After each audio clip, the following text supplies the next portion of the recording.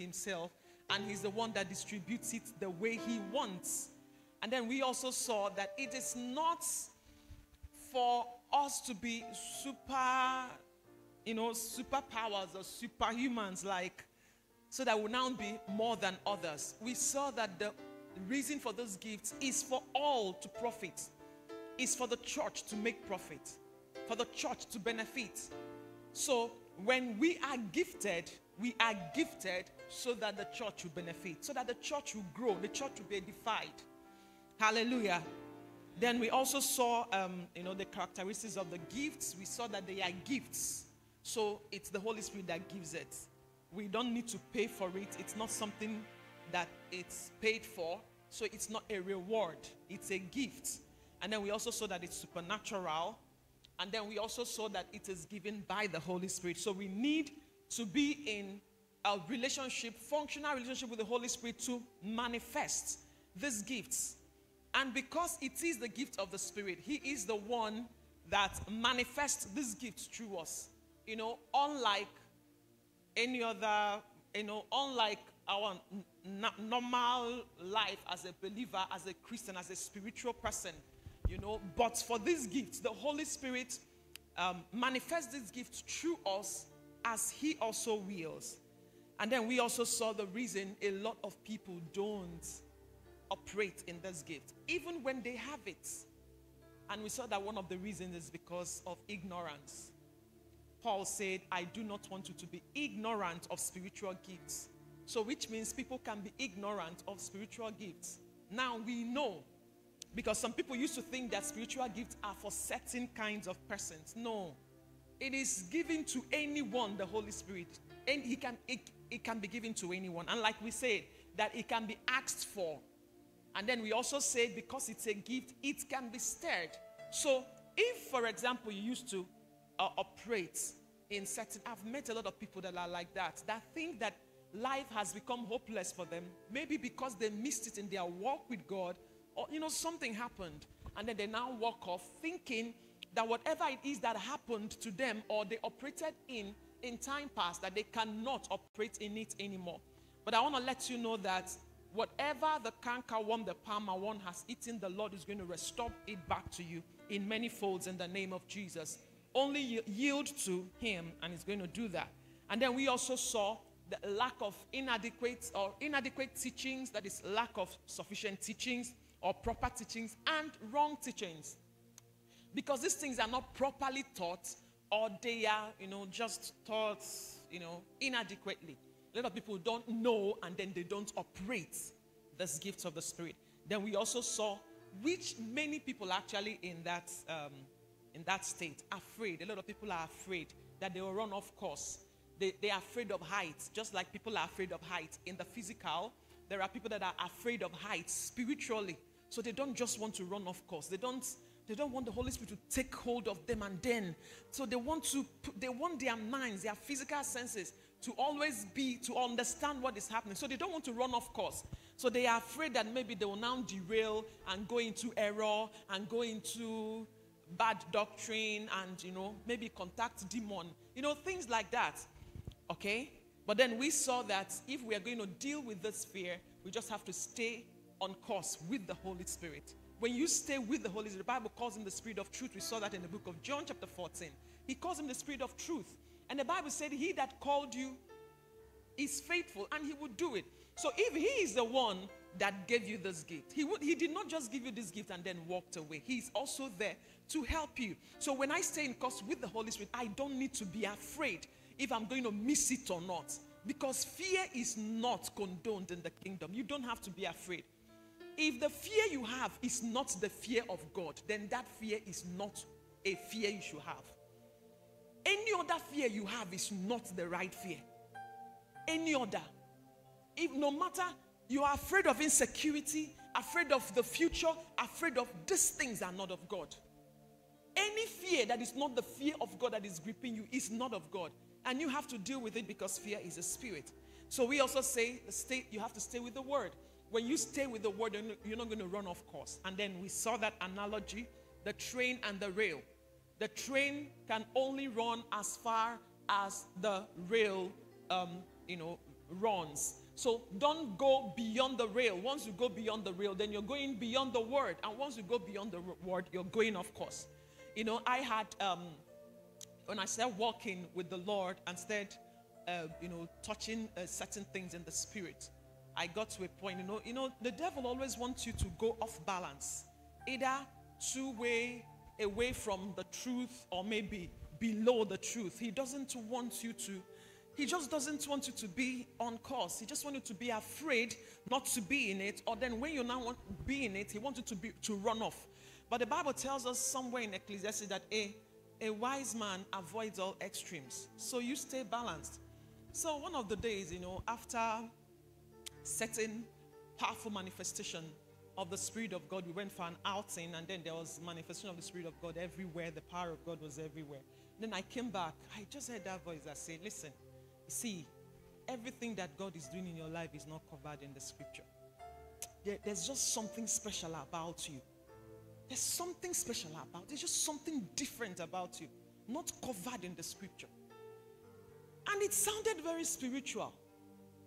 But thank God for, you know, because that's another thing that regulates you submission to one another. Submission to one another. If you read that chapter 12 of the book of First Corinthians, you're going to see how the Bible, immediately the Bible was done talking about this gift. And now start talking about members of the same body, who we are, what we are. That we are not just, we don't just stand alone. If you are the eye, you can't just say, I am the eye, I want to stand alone. If anything happens to the leg, you, you, the tears will roll down from the eyes. So they are all connected. The heart cannot say, ah, no, I don't need. The heart needs other, the, the, heart is protected by a lot of other things. You can't say, I, I just want to be alone. Then the heart will now come out and stay on the head. It will die. Do you understand? So you can't just say, this is just, there's something special about. But you know, I didn't know so much about the scripture. We are just coming up, and then we didn't have we didn't have this kind of opportunity that of you now have. But then, you know, one day while we're just talking with other believers, and then I started seeing that God cannot take me. In fact, that whatever I've even experienced is not even as much as what God has even planned. Because sometimes you can just see one small power and then your head will blow. Ah, have you called down fire? Somebody has done that. So, have you raised the dead? Even if you've raised the dead, there are people that have raised the dead and they are still alive. Have you been taken by chariots of fire into heaven? I don't know if you understand what I'm saying. So, you know, keep that word uh, boundary very if you keep the word boundary you're not going to be afraid so then i said submitting one to another i don't know if i mentioned it yesterday but then you sub- did i mention it submitting one to another that it's very important very very important don't ever get to a point where you just it just it just it's you i know this is is god spoke to you and there is no confirmation of any kind no no no no no there ought to be. There ought to be. Some, there ought to be someone else that confirms or at least knows or can perceive what the Lord is also saying to you. Hallelujah. So I grouped the, you know, by study, you know, people that have studied this so much, they grouped, if you discover the gifts are grouped into three. Then the first one we saw, uh, uh, we call them the revelational gifts. The gifts that reveal. Okay, I think I mentioned the utterance gifts first, right? Right? the vocal gifts. And then I say that they are tongues, interpretation of tongues, and what? And prophecy, okay? Then the third one, the second one is what? Power gifts. And I say that they are what? Gifts of faith, okay? Gifts of faith and gifts of healing. All right? Now, we also saw revelational gifts, and it's walking word of wisdom, word of knowledge, and Discerning of spirit. That's what the Bible calls it. It's not discernment, it's discerning of spirit. Do you understand? Someone said, Do you it seems you have the spirit of discernment. You're going to see that. Hallelujah. Okay. So I started with tongues yesterday. I want to, you know, redress and show some things. I started with tongues yesterday. I'm going to talk about that then. So I started with tongues yesterday. And I told us that tongues is the door to the supernatural. But then the tongues we're talking about here now, as the gift of the Spirit, is different from the sign the tongue sign that comes after the baptism of the Holy Spirit. Do you understand what I just said now? At the baptism of the Holy Spirit, the evidence shown in the scripture, we saw it in the book of Acts, chapter 2, then in the book of Acts, chapter 10, when uh, Peter went to Cornelius' house, the Bible said that they were baptized by the Holy Spirit and then they spoke with tongues. And then we also saw it with Paul and those young men. So once there's a baptism of the Holy Spirit, the evidence is usually the speaking in tongues. But it is different from the gifts of speaking in tongues, of different, diverse kinds of tongues. Do you understand what I'm saying? So the first one is a sign and it's a prayer language given to us at the point we are baptized by the Holy Spirit. And that first one is everybody has it. Did you see that? Everybody has it. Once you're baptized by the Holy Spirit, you have it. And then, because all of us have it, it's a prayer language. That is why, if I ask you now to start praying in the Holy Spirit, you open up your mouth, open that fountain, and you start praying in the Holy Spirit. Do you understand what I just said now? But the gift of diverse kinds of tongues, it is the ability to speak in an unlearned tongues, unlearned language, language that is not land, land. And this gift comes by the unction of the Spirit. So it is different from the prayer language. It comes by the unction of the Holy Spirit.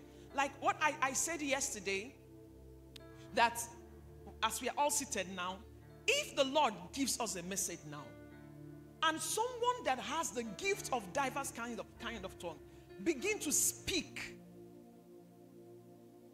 The person begins to speak and then the person speaks. Now what the person is is praying will be different from that person's usual tongues.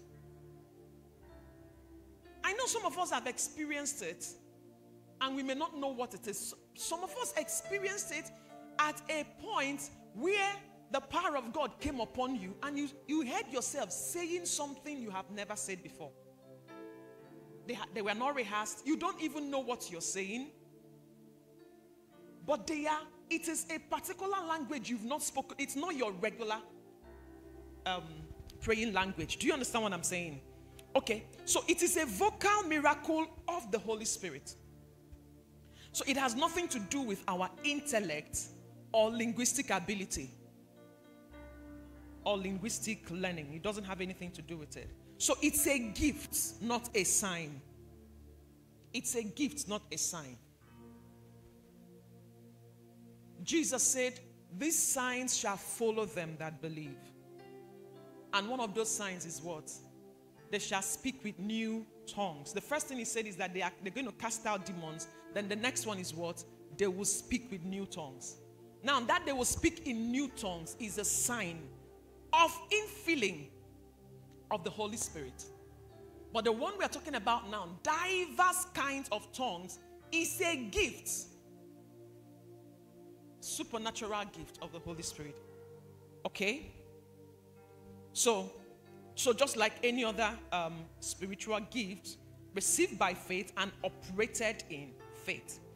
So, let me clarify the definition now. It is supernatural utterance by the Holy Spirit in languages never learned by the speaker. That's never learned by the speaker, nor understood by the speaker,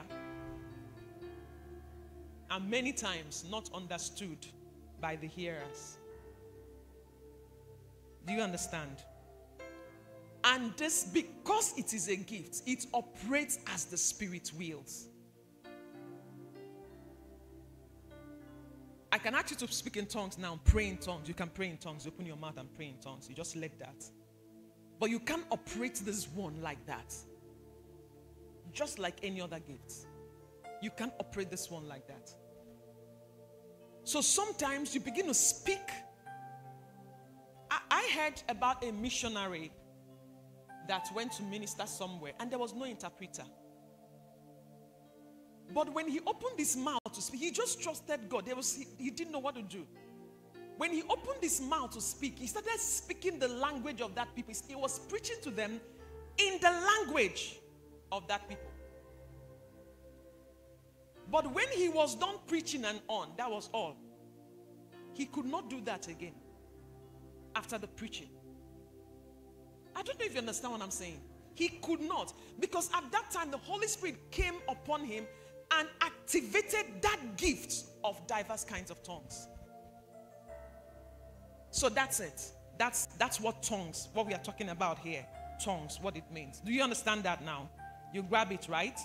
Okay. Please be answering me. Because most of the things I'm going to be saying today are things that you'll be wondering if these things are right. But because we have had wrong teachings or inadequate teachings, what I'll now be teaching will be sounding odd. Whereas it is what you know that is odd. What you used to know. Hallelujah. Okay. So, um, of course, we know that these things, the one of the purposes of these things also is to attract people, to attract people to be saved, so they'll be able to be saved. Hallelujah. Then the next gift of utterance is the interpretation of tongues. I know I mentioned these things yesterday. I just want to redress, redress them. Interpretation of tongues. Now, this is now the gift that interprets the diverse kinds of tongues. Do you see it now? That interprets the diverse kind of tongue. You know, we say that diverse kinds of tongues as a gift. It is not the gift of tongues, it is the gift of diverse kind of tongues. Okay? So we say that it is a supernatural utterance of the Holy Spirit. That the speaker had not learned, may not even understand, and then the hearer may not even understand it. Except that person has this gift now. So, interpretation. So, what is it? It is the supernatural showing forth by the Spirit.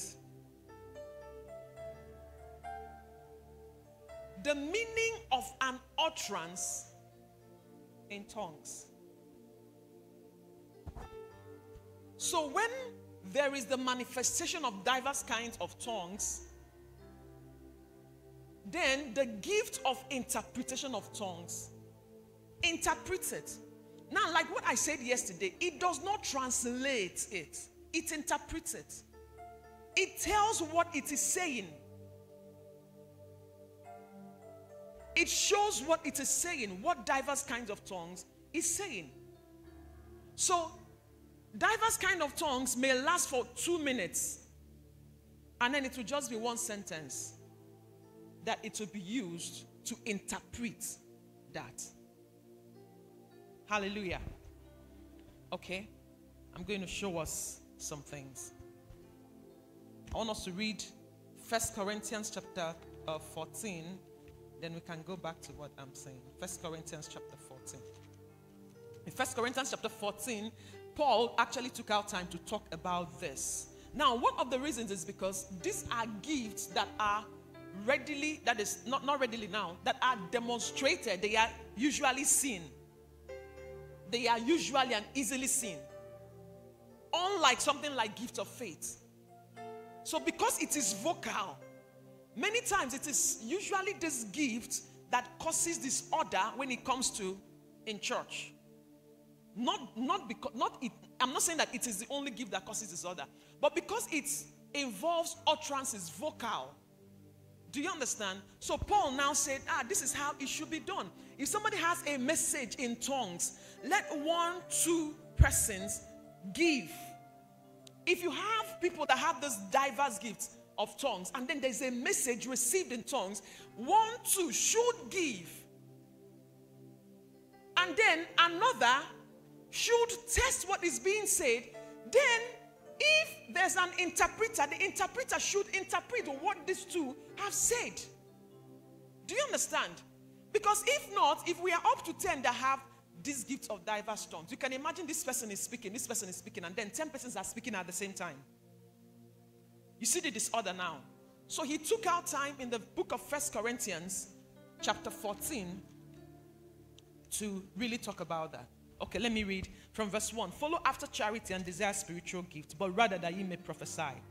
But he that speaketh in an unknown tongue speaketh not unto men, but unto God, for no man understandeth him. Howbeit in the spirit he speaketh mysteries.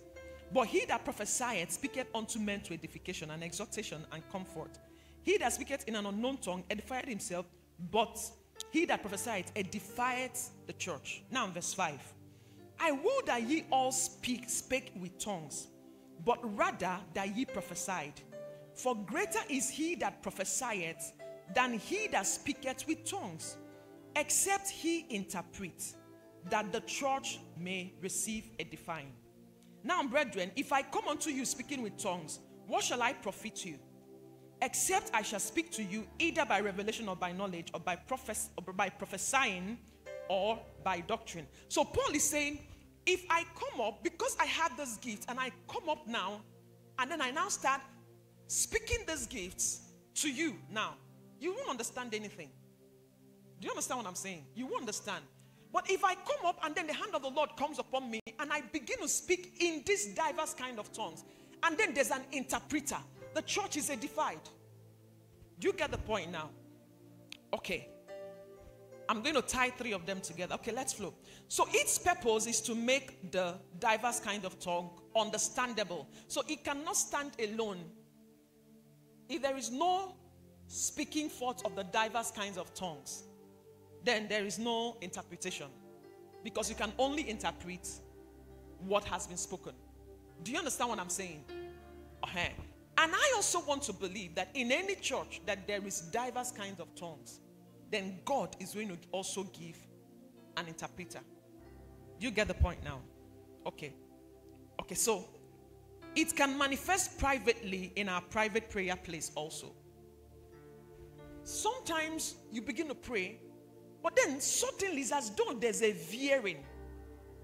You begin to say things. You know you are speaking a language, but you don't know what that language is. And sometimes it can prolong. It can you can just stay there. You're speaking a language. You're speaking a language. The, the hand of the Lord just comes upon you. Then you now start speaking a particular language. Then sometimes, as you're speaking that language, you're receiving the interpretation immediately as you're speaking it. That is it. As you're speaking it, you're receiving interpretation immediately.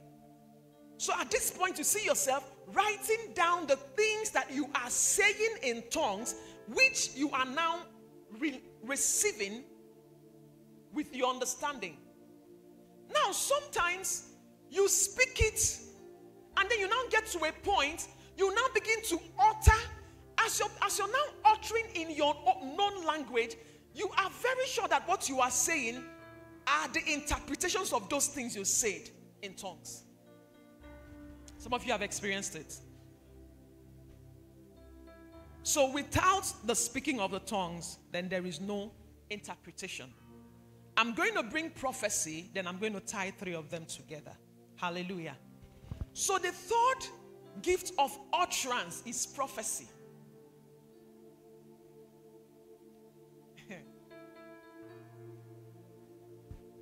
If your eyes have been maybe 45 degrees looking at me, maybe to straight to 90 now. Because most of the things we call prophecy are not prophecy. They are not prophecy at all. Prophesy is not prophecy that the person is giving. It's not prophecy. So we're going to see that. So, what is prophecy? Are you ready to learn?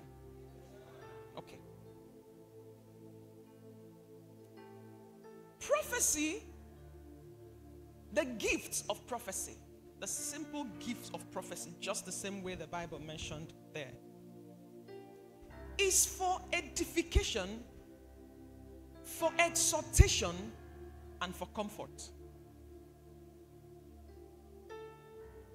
It's for edification, for exhortation, and for comfort. Hallelujah. First Corinthians chapter 14, verse 3. But he that prophesieth speaketh unto men to what? Edification and exhortation and what? I want us to read it again. Please, I want you to open your, your eyes and your ears. But he that prophesieth speaketh unto men to edification and exhortation and what? And comfort. Now, verse 4 He that speaketh in an unknown tongue edifieth himself, but he that prophesieth edifieth the church. So, when there is the manifestation of tongues and the interpretation of tongues, when both of them come together, prophecy has happened. That's prophecy. You want me to show you? Okay. Verse 5 I would that ye all spake with tongues, but rather that ye prophesied. For greater is he that prophesieth than he that speaketh with tongues, except he interprets. For greater is he that prophesieth. So this is the one that, prophes- that prophesies. Bible says, greater is he. Than he that speaks in tongues. So, if you're going to use mathematical um, expression, so we'll say that the one that speaks in tongues is greater than the one that speaks in the one that prophesies is greater than the one that speaks in tongues, right? But then the Bible says, except he interprets. So, which means he that speaks he that prophesies is greater than the, he that speaks in tongues. But he that prophesies is equal to he that speaks in tongues and interprets. Is that what that thing says? So, which means when there is a manifestation of tongues and interpretation of tongues, prophecy has happened. And they are all for what purpose? For the edification of the church. So when I speak in tongues alone, I am edified. The church is not, nobody, the church did not even understand what I said. So the church is not edified. But when it is interpreted, then the church is edified. And when prophecy is given, church is edified. And what did we say prophecy is here? For exhortation, for edification, and for what? Comfort. Now follow me. Because prophecy is not what you think. Prophesy to me. It is not prophecy. Okay? This is when people are not answering me again. Okay. Now, the gift of prophecy does not need any other gift to complete itself. Like the gift of tongues or the gift of interpretation of tongues. Do you see it? So it doesn't need any other other. Uh-huh. So to speak for God or to be God's spokesman, that is it. That's what prophesying means to speak for God or to be God's spokesman for edification, for exhortation, and for comfort. So, in the gift of prophesy, of prophecy, there is no foretelling. There is no telling of what to be. It does not speak about what is to be. I need you to understand. It does not speak about what is to be. It could be a gateway to release what is to be, but the simple gift of prophecy is not what talks about what to be. That is a foretelling.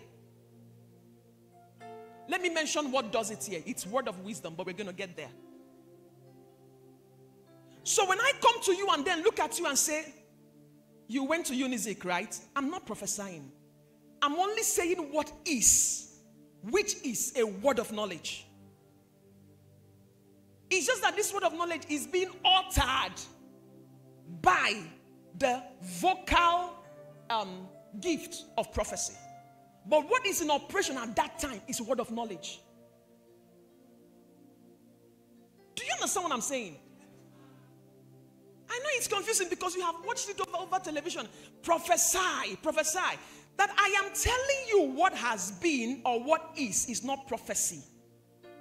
It's not prophesying, it's not foretelling. I am only mentioning what is, which is the manifestation of the gift of word of knowledge.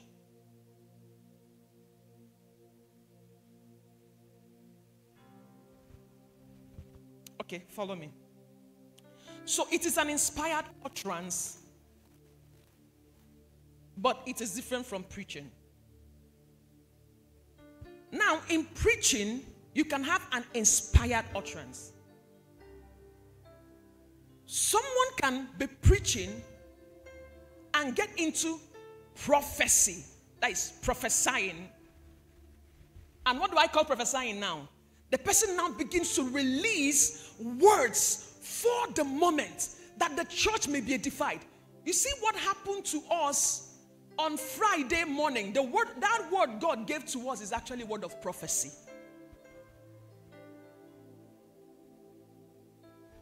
That's First Corinthians, Second Corinthians chapter 15, verse 7. How many of you were edified? How many of you were comforted? That's it.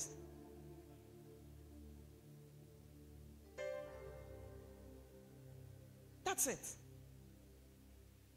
So that's what. So, the, you know, there's preaching, and then during the preaching, the hand of the Lord comes mightily upon that, and then He now begins to speak, begin to speak words that the church may be edified at that time. Now, it could also, as the preaching is also going on, it could also be, you know, to bring warning. Now, not the warning that will now cast the church, you know, down, make the person, because at the end of the gift of prophecy is there's going to be an edification. Do you understand? And comfort. It's not the one who say that God is angry at you. It's not prophecy. It's not prophecy. Do you understand? And then you leave it there. It's not prophecy. Okay, let's flow. Hallelujah. Okay. Now, somebody will now be looking at me and saying, Ma, what are you saying? What are you now talking about? I know about prophets. Some of you are even trying to shut me down. Don't shut me yet. I know about prophets. Now, there are offices. There's an office called the office of a prophet. That one is different. Mentioned in the book of Ephesians, chapter 4. The Bible talked about the gifts of Christ. If you heard when Pastor came up yesterday to talk about for about 20 minutes, he talked about the gifts of Christ, mentioned, you know, some things. And one of those gifts is a gift of prophecy. It's an office of a prophet. Now, what a prophet does is that a prophet is the one that foretells, speaks the mind of God concerning what is and what is to come. That's what a prophet does. Now, in the office of a prophet, you have revelational gifts. Because the prophets will need the revelational gifts to function in. But the simple gift of prophecy is just call it a tool to release what God has in his mind for the church. There are other gifts that manifest through the word of, of prophecy, through prophecy. You know, prophecy is utterance. Like word of knowledge, word of wisdom can go, can be released through prophecy. But the office of the prophet is different. So anybody that occupies the office of the prophet will have the revelational gifts manifest in, in the person. So that, that somebody prophesied does not mean that the person is a prophet. Prophet is an office.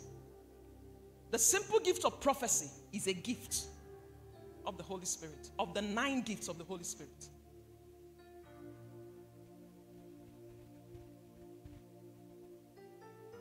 Are you finding it difficult to accept what I'm saying? Hallelujah. Acts chapter 21.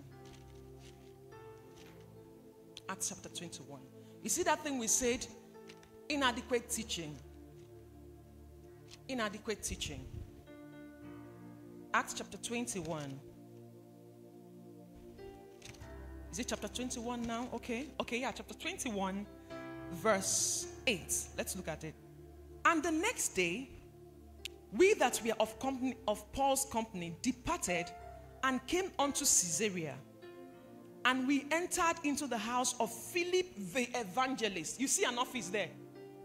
Philip the evangelist. We remember Ephesians chapter 4. You're not answering me again. Am I spoiling things for you? But it's good so that you will not you will, you will not be uh, you will not be misled anymore. You will not be misled anymore. Okay? So Philip the evangelist, which was one of the seven. we Remember those um, those uh, ushers that were selected to share food. So which means that somebody can move from sharing food to an office. Some of us will say, Ah, God has called me. I, you know, I'm a prophet. I know when I was commissioned, so I can't be doing these things. Philip, the only thing the Bible told us that he was a man full of the Holy Spirit. At that time, they were to be selected to share food. And then the apostles said, Ah, we are going to, we're not going to minister to table. Let's focus on the word and prayer. So the apostles went to do word and prayer. And then selected some persons full of the Holy Spirit to go and do food.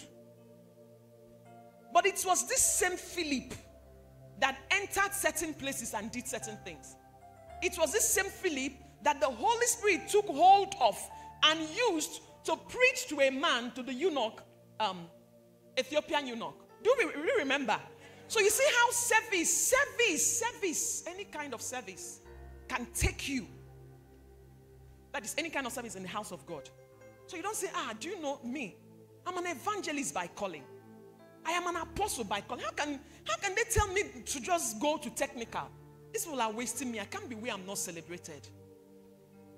Because anything you are commissioned to do, you have to start from, from the down up. Please know it.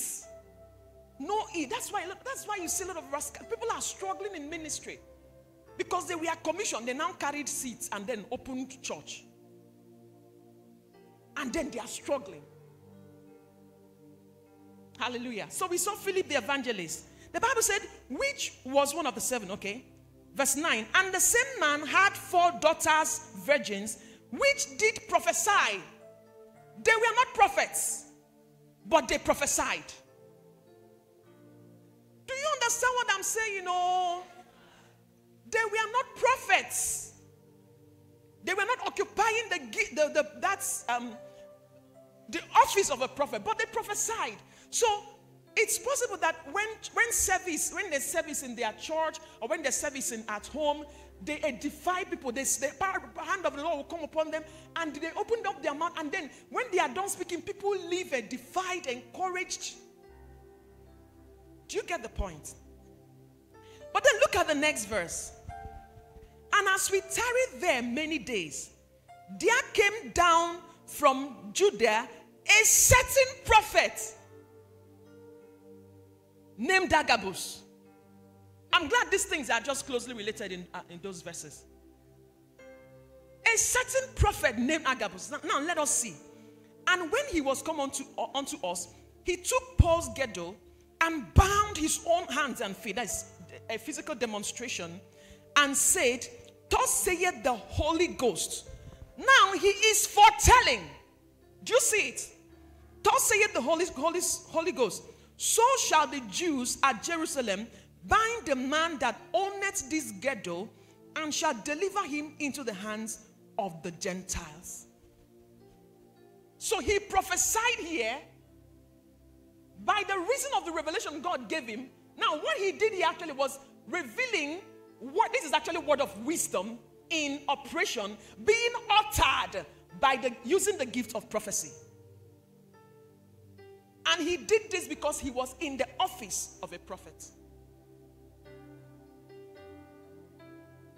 So that somebody calls out somebody and say, see, you have a bunch of key. There are 15 this in a bunch of key. It doesn't make the person a, a prophet.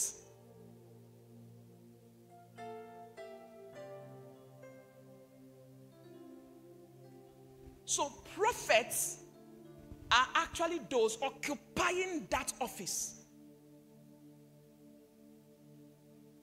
And they don't operate alone. You're going to see that. There are a lot of things pastors are going to teach us anyway. Hallelujah. So, gift of prophecy has no revelation in it. In in gift of prophecy, there's no revelation in it. Okay? But um, the office of a prophet has revelation in it. So it's telling what will be. Prophesying does not tell what will be, it's just for edification, comfort, and exhortation. Hallelujah. So, one in office of a prophet will have more of the gift of the Spirit than just the gift of prophecy. So, someone that is occupying the office of a prophet will have the gift of prophecy, will have word of knowledge, gift of word of knowledge, and or gift of word of, of wisdom. So these three can be operating, you know, in that person, in the person that has the, that is in office of, of, of a prophet. But the simple gift of prophecy is just. Do you understand? And someone that occupies the office of a prophet, it's an off, it just, you know, it's an office that is occupied. The person operates in and operates from. The gift of prophecy, the unction of the Holy Spirit comes, the person manifests, and then that's it. I don't know if you understand what I'm saying. Okay. We can all prophesy. But we cannot all be in the office of a prophet. I'm trying to show you differences so you understand it. We can all prophesy. In the book of First Corinthians, still, chapter 14. First Corinthians chapter 14. Okay? Verse 1. Look at what it says there. Follow after charity and desire spiritual gifts, but rather that ye may prophesy. Paul was not talking to one person, he was talking to the entire church. Do you understand? Okay, so we can all prophesy. Look at verse 5. I would that ye all speak with tongues. Now he's talking about talking to all of them, but rather that ye prophesied. For greater is he that prophesieth than he that speaketh with tongues, except the inter- except he interprets, that the church may receive a define. Hallelujah. Look at verse 39 of the same chapter. Wherefore, brethren, covet to do what? To prophesy, right? Covet to prophesy and forbid not to speak with tongues. So everybody can prophesy. Pastor has told us that every believer in the average is a prophet. So we can bring word of edification, word of um, exhortation and comfort. And one of the ways the gift of prophecy is also expressed is through psalms and hymns. David did that a lot.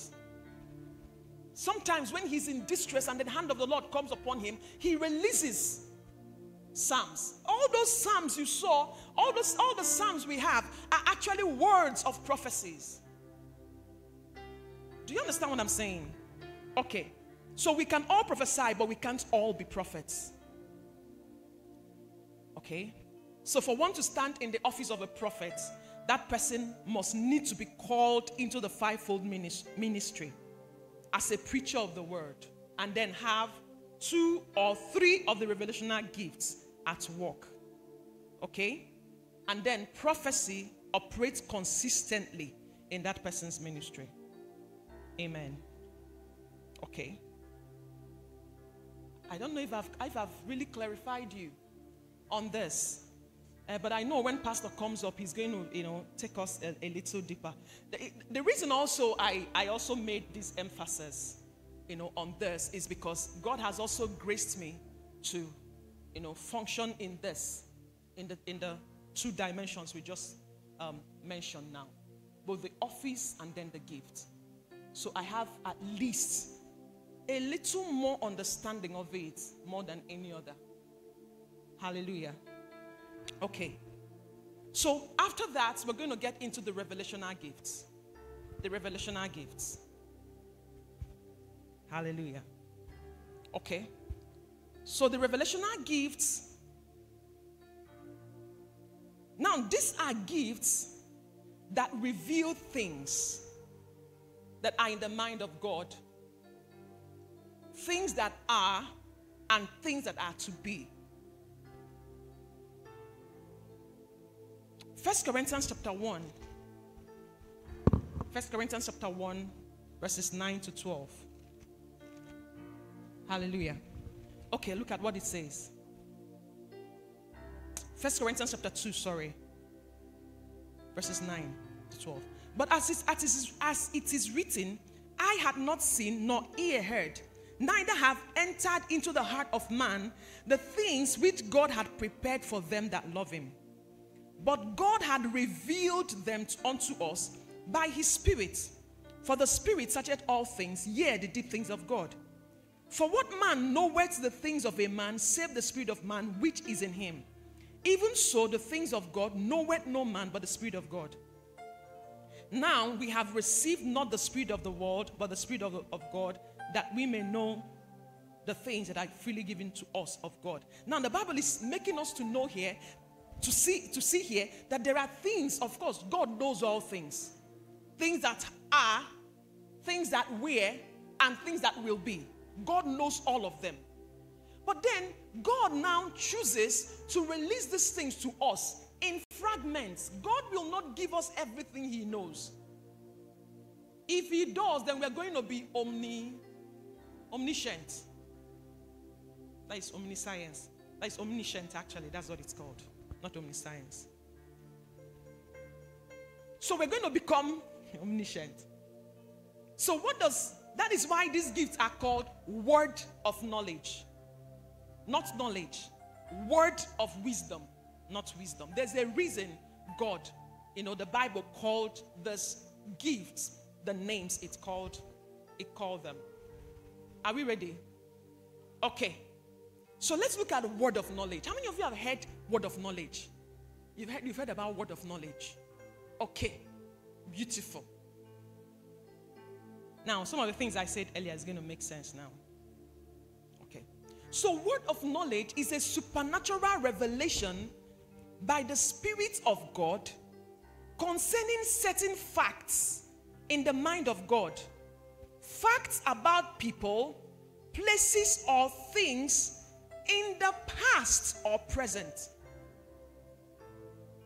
That's where the time stopped for word of knowledge in the past or present.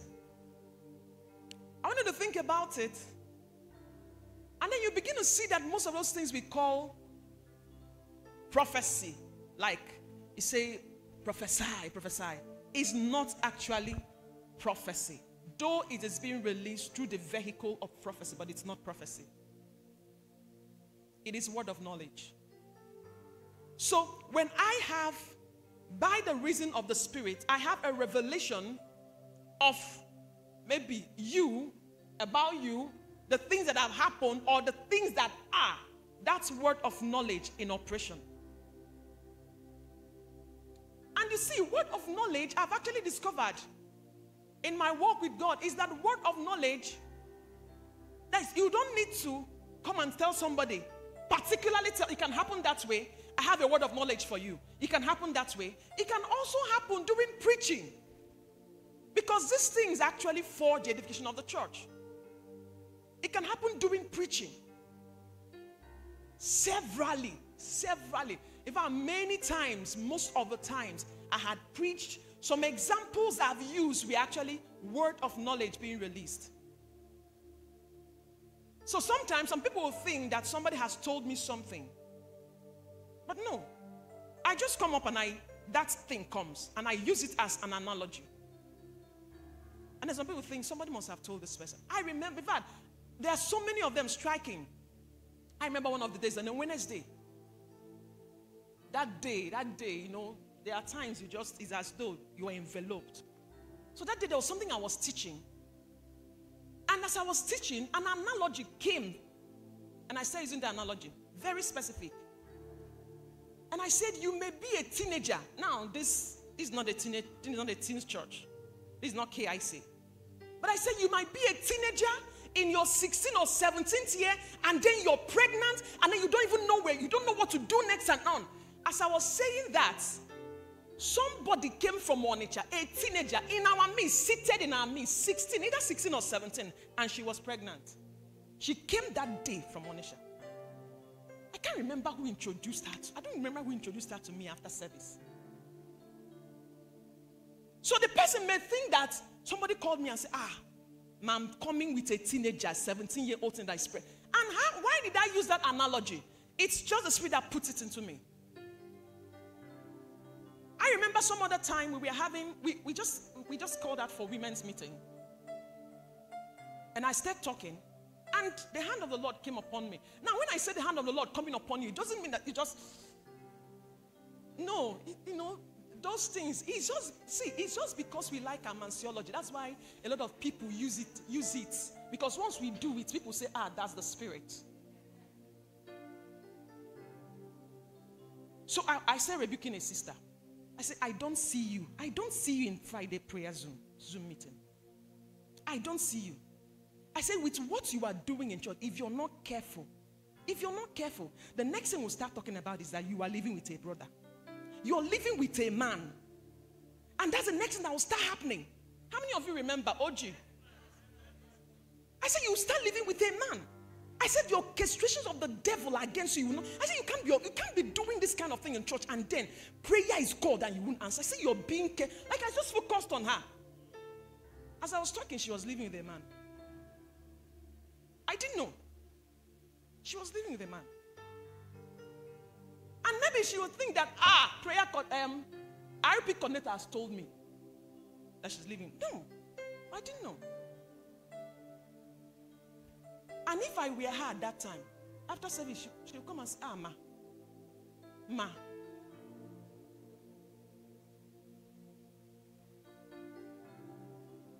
So, what of knowledge? Something that has been or something is.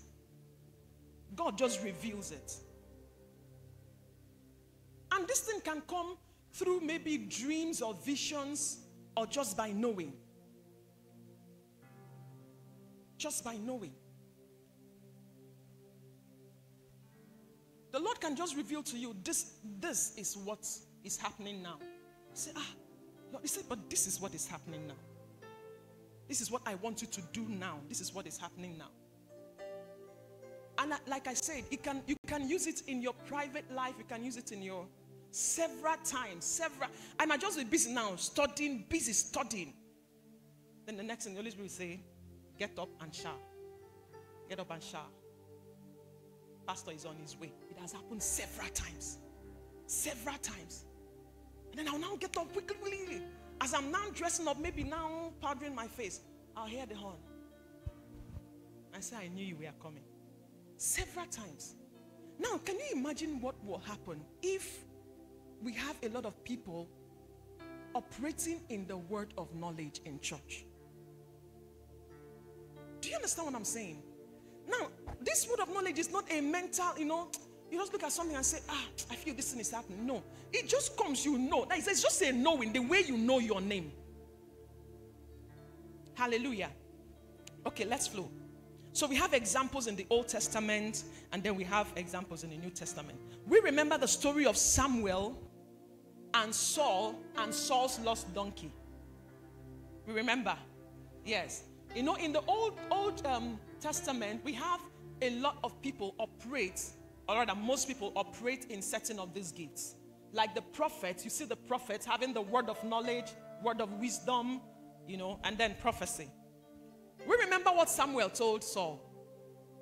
He said, and by the time they were done doing the main thing God wanted done, he now told them, Your ass has been found. Please don't ask for your ass. Don't worry. Ask for your donkey. Don't, don't bother about that. You can find that story in the book of First, First Samuel, chapter 9. Hallelujah.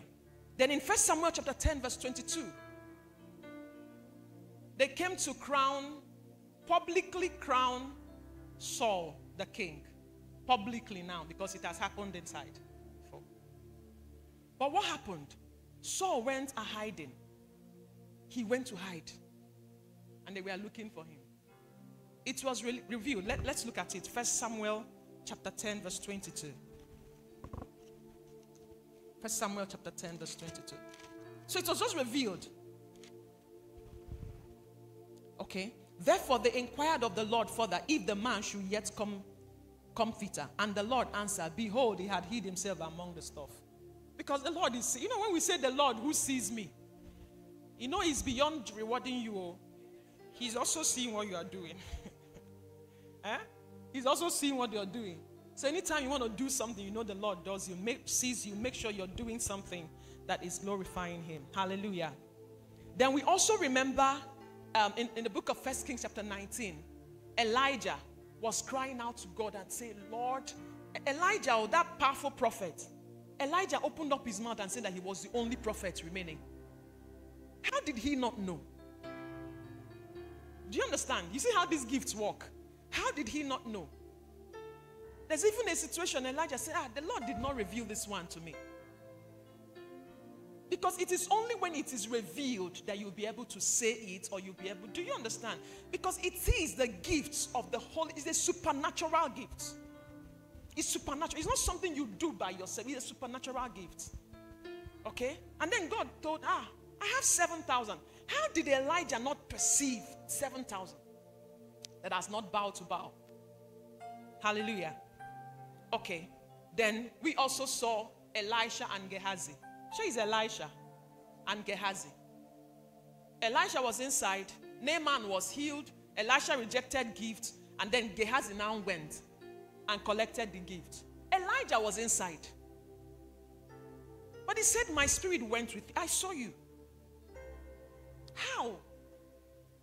You see why it's very dangerous, very dangerous to lie to your pastor. In fact, it's dangerous to lie. Very dangerous to lie to your pastor. Sometimes he will know, but he wants you to say the truth. He will know. He wants you to say the truth. Because if he now tells you, you now say, ah, pastor said, you know, he said, it is pastor that said that I did this thing. But you know you did it. He said, pastor said. Hallelujah. Okay. So then we have we see um, in the New Testament Jesus and the woman in the well. I'm just trying to show you the manifestation of the word of knowledge.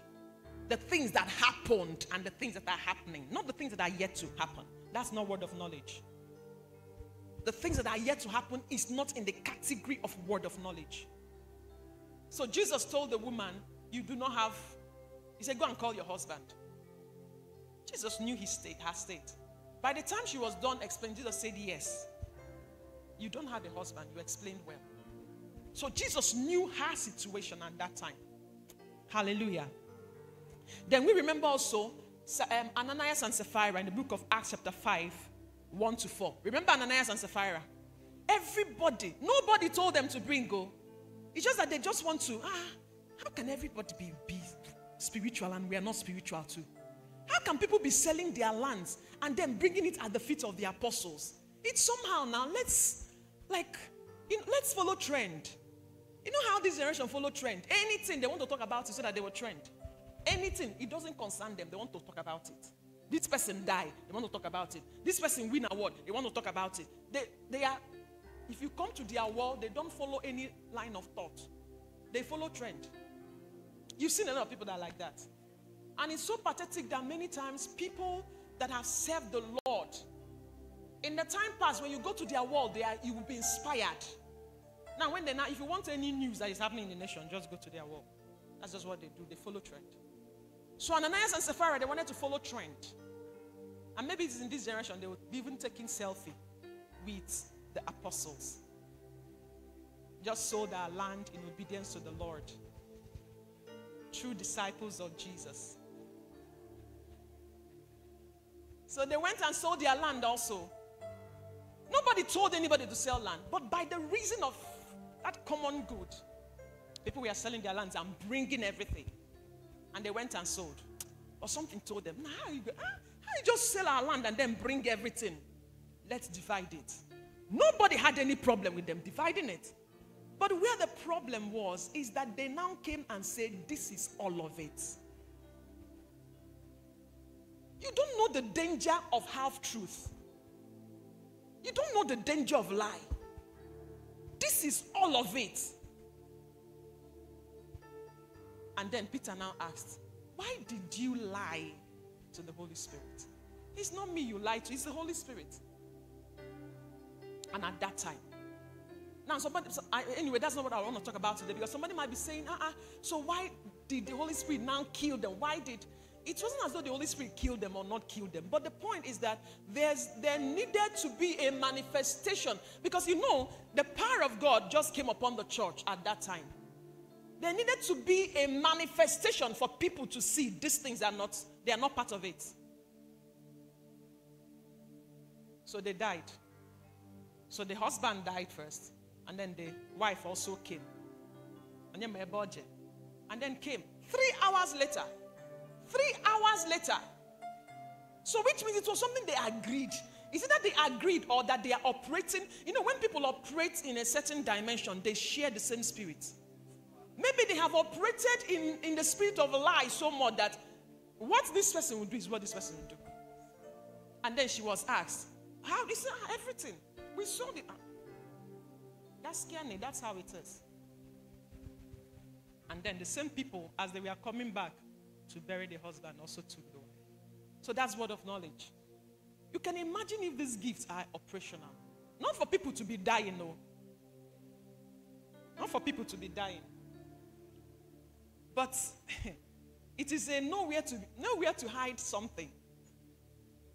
That somebody will now go and steal somebody's phone in the night and then come Sunday morning to lead in praises. In hey, oh kwada kwada thing. You know what kwada means? It's it's something that is usual in a lot of gatherings. Don't use the word church. Something that is usual. There are even people that some of you have ministered to certain ministers in certain churches. That is, maybe they are ushers or choir directors or certain minister to them. And even them, they themselves are living in your place of residence, living with women that are not their husbands, their wives, and living with men that are not their husbands. And sometimes they are chief ushers, sometimes they are music directors in church. God gave us a privilege to pastor a certain fellowship some time ago.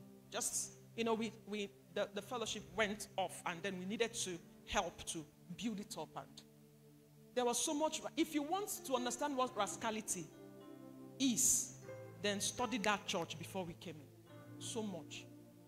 That someone, I don't know, whatever idol, is it Nigerian idol? That was where he, there was something he did. Is he in a party or whatever? And we had a conference. He rushed in from that place and took Mike to lead, lead in pra- praises. Hallelujah. But you know, all these things are done in love. Like if I'm ministering now and then the Lord now tells me, ah, this brother, that these shoes he's putting on now, he stole it yesterday morning. Not this brother, this brother. He stole it yesterday morning. I won't come to you and say, you. You see this shoe now in front of everybody. That's what we see now. You call out somebody and then you now tell a lady, you see, see, you're wearing yellow pants. How, how will she go home? Is it not what we see? No, because these things we're still going to look at how they are regulated. We have them, but how do we use them? Hallelujah. Bible said it is for the profit of all. Say profit. Profit of all. Except there, there are actually cases, oh, cases where maybe you have, you know, maybe privately encouraged, talked to, corrected, talk to, corrected, talk to, corrected. And then the Lord says, Stand here and declare it. You're still walking in love because it's now to save other church members. Do you understand? But we don't go about releasing word of knowledge, say, You, you, you, you did, and then in front of everybody. No. Hallelujah. Okay. So, like I said, it can come as a vision in the night, it can come as a dream. So these, these are how these things are seen. Okay? So it also helps us in prayer. Oh, so beautiful. It also helps us in prayer. So if I know about something and then we come to pray, I may not say, ah, please, brethren, I want us to pray for Bro Franklin. I'm, I'm thinking that Bro Franklin committed fornication yesterday. No, we don't need to. Do you understand? Because that's what's, you know, many times most of most of us are so gifted that we now use this gift to scatter the church. So you don't go to pray, pray as intercessors. It will now be a place where news, updates. People are not coming to praise, updates. So for 45 minutes, we are talking about, and then we now use 15 minutes. And sometimes we come to pray, we can use 45 minutes to charge. If there are sometimes as you're charging, the prayer is already stirring, you're already praying and on. But I'm talking about the one that you now come, you know, say, brethren, the Lord revealed something to me yesterday. I saw. So next week, as people are coming for prayer, they are coming to be updated, latest gossip in church. Hallelujah. Okay. So it's, it's, it's an aid in prayer. So if there's something you can say, please, can we begin to pray for Bro Franklin? Let's pray that the Lord will uphold him, that the Lord will help him, that the Lord will keep him, keep his feet from evil, keep him, keep his heart. Can we, you know, you just bring it as a prayer point. Hallelujah. Okay. So, word of knowledge never ever talks about the future. It never brings anything in and, and, never talk about the future. It is word of wisdom that does that. And that's the next thing I want us to talk about. Talk about word of wisdom. So if you see word of knowledge in operation, you will know. And so you keep you stop saying, ah, somebody told pastor this. Somebody told pastor this. Many times when we come for communion service, most of these cases, pastor is mentioning came by the reason of word of knowledge. Do you understand? It came by the reason of word of knowledge. Amen. Okay, word of wisdom. Word of wisdom. Now, when we say word of wisdom, people say, ah, this, this lady, you have word of wisdom. See, you just talk now. Everything is just, ah, it's just so easy. Your wisdom not be here. No, that's not, that's not what wisdom is. This one is different. So, word of wisdom actually is a supernatural gift that talks about what is in the mind of the Lord concerning the future. Do you see it now? Do you see it? Now, does this look like what we call prophecy?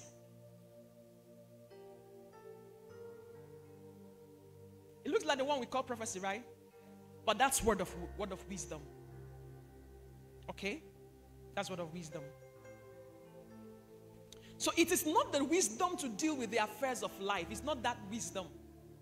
So when the Bible said in the book of James, I think chapter 1, he said, Any of you is, is any of you lacking wisdom, let him ask God. It's not this wisdom that he's talking about. Hmm? It's not this wisdom. When the Bible said there are two kinds of wisdom, it's not this wisdom that he's talking about.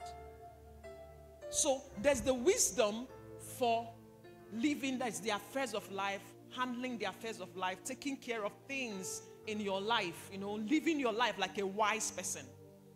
Most of those things we see in the book of um, Proverbs, that's not what we are talking about. The word of wisdom we are talking about now is a supernatural ability to know what is in the mind of God, not concerning the past or present, but concerning the future. Do you see it now? So they are two different things. Okay? So it is a supernatural revelation by the Spirit of God concerning divine purposes and plan in the mind and the will of God. So it always speaks of the future. Always speaks of the future. It can be conveyed through the gifts of prophecy. Remember, I told us that gift of prophecy is utterance, right? Utterance, you can understand. Utterance. So it can be conveyed through the gift of prophecy, the vehicle of prophecy. So, just like word of knowledge, it can also come through vision or dreams. It can also come through visions or dreams. Do we remember the story of John the Beloved the book of Revelation on the island of, of Patmos. Do you remember? Now, if we look at that beautiful story, we will see the word of knowledge and word of wisdom in operation. How? Word of knowledge God was, Jesus was revealing to John the state of the churches at that time. Sure, we saw that. To the church in Ephesus, Ephesus to the church in, to the church in, he was telling them the state of the church at that time. And that's word of knowledge. Something that is present. And then he now started telling the, telling um, um, John the things that will also happen to the churches if they don't repent, if they don't, and then the things that will now happen at the end of time. That's word of wisdom. That's word of wisdom in oppression. Okay? Then there's another beautiful story of Ananias. Remember Ananias, not Ananias of Sapphira, Ananias of uh, Saul that became Paul. Mm-hmm. We see that beautiful story also. Let's read it, then we, we, we extract. I'm trying to show you, you know, how these things operate so that when you see them in operation, you will be able to say, this is what it is. Okay? Acts chapter 9. Okay, verse 10. And there was a certain disciple at Damascus named Ananias. Now, the Bible called him a disciple. He, he wasn't an apostle, he wasn't part of the 12. So, which means that anybody can have these gifts. Do you understand what I'm saying? The Holy Spirit distributes it as He wills. Okay? So, named Ananias, and to him said the Lord in a vision. Remember, I told us that a word of knowledge or word of wisdom can come as a vision, right? Okay. Ananias, and he said, Behold, I am, I am here, Lord. And the Lord said unto him, Arise and go into the street which is called Straight. Okay? And inquire of the house of Judas for one called Saul of Tarsus, for behold, he prayeth. Now, that last statement is word of knowledge. But what he was to do is actually word of wisdom. He said, Arise, go. This is what you're going to see. That's word of wisdom. But he told him, He prayeth. That's word of knowledge. Do you see it? Okay. And had seen a vision, a man named Ananias coming in and putting his hand on him that he might receive his sight. What is that? Which gift is that? Eh? And had seen in a vision, now he's talking about Paul now, and had seen in a vision a man named Ananias coming in and putting his hand on him that he might receive his sight. Word of wisdom, let me see hand up. Bring it down. Word of knowledge, let me see hand up. Why do you say it's word of wisdom? No. No. No. He said, he said, go to the street, and then you're going to see one Saul of Tarsus. For he prayeth. That is, he's praying. That is, this is what is happening now. And he said, and had seen in a vision. So, which means this has happened to him. So, he had seen you, in as much as you had not come, but he had seen you in a vision. This is also in Act chapter 10. We remember the story of Peter. As Peter was having that encounter with the unclean, uncleanness thing, that's word of wisdom. God, okay, after that, it was interpreted to him. This is what's going to happen. There are men waiting for you. You know, you're going to go to. And the time he was receiving the word of wisdom, it was also mixed with word of knowledge. Because this is what I wanted to go to do because this person is waiting for you. Reason God had already met Cornelius. Do you understand? And now he's now telling Peter that he has he has met Cornelius and Cornelius is waiting for him to come. So it was word of knowledge at that time. God was telling him, this is the, what has happened. Now this is what I want you to do. Do you get the point? Okay, it's clear now, right? Okay, it's, it's very clear. Okay. He said, and had seen in a vision a man named Ananias coming in and putting his hand on him that he might receive his sight. Then Ananias answered, Okay. Ananias answered, Lord, I have heard many, many of these. I have heard by many of this man how much evil he had done to the saints, saints at Jerusalem. And here he had authority from the chief priest to bind all that call on thy name. But the Lord said unto him, Go thy way, for he is a chosen vessel unto me to bear my name before the Gentiles and kings and the children of Israel. What is that? What is that? Some people are not sure. People are not answering. No, you know, how will I how will I mark your correction? How will I correct if you've not written something? What is it? Word of wisdom. He, God is telling Ananias what Paul will do. That is showing God, showing Ananias his plans and purposes towards Paul. Do we see that? Okay, the next verse. For I will show him how great things he must suffer for my name's sake. Word of wisdom, word of knowledge. These will not still. You're not talking. Are you talking? Or you are talking behind somebody. So, eh? Or you're doing word of yeah. We we dead. So it will be mixed. Hallelujah. Okay, so we understand that now. So, word of knowledge, something that has or something the Lord is speaking to me concerning you. You came to this place using Peace Mass Transit. That's word of knowledge. You came to this place using, and you will go back using Agufero Motors. That's word of wisdom. Do you see it? Uh-huh. That's word of wisdom. So, word of wisdom always talks about the future. Hallelujah. So, but like I said, it can be conveyed through that um, vocal um, ability of prophecy. Do you understand? Through the vehicle of prophecy. So, anytime you hear words, foretellings being released through the word of that's actually word of wisdom. Now, like I said earlier, that anybody that is in the office of a prophet definitely will have the revelational gifts in operation.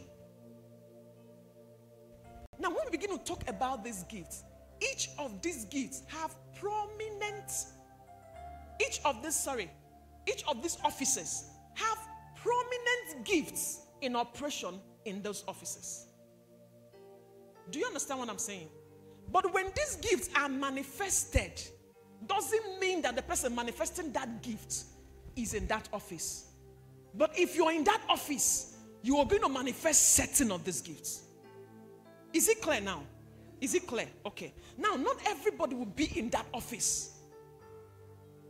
But then, among us, the Holy Spirit is going to distribute among us these gifts as he, as he wills. That's why I said that all of us can prophesy, but not all of us can be in the office of a prophet. You know? Hallelujah. Okay. So, like what we saw Agabus did, that's word of wisdom operating in the office of a prophet. Shall we saw that? Okay. Okay. Hallelujah. Okay. Then the last of the revelational gifts is discerning of spirits discerning of spirit. It took me a little while to really understand this particular gift discerning of spirit.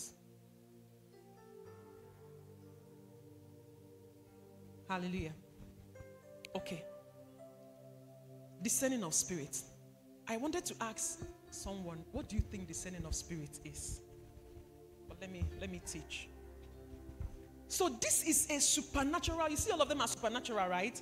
This is a supernatural insight into the spirit world.